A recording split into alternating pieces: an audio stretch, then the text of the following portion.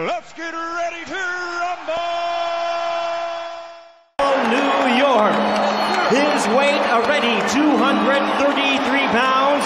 His record 50 wins, 5 losses, 2 no contests, with 44 big wins coming by way of knockout. Ladies and gentlemen, please welcome the youngest man ever to hold the heavyweight title, the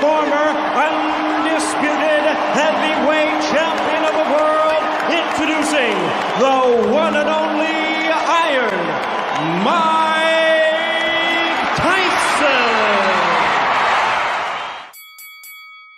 Professional debut of Mike Tyson in the white trunks against Hector Mercedes. We're in the Plaza Convention Center, Albany, and this is not going to take too long. We're in round one. Mercedes already in trouble. He is going down, is he? These big swinging hooks to the body from Tyson. And if that is it in round one, that is a pretty impressive professional debut. We're back in Albany for his second professional fight, this time against Trent Singleton.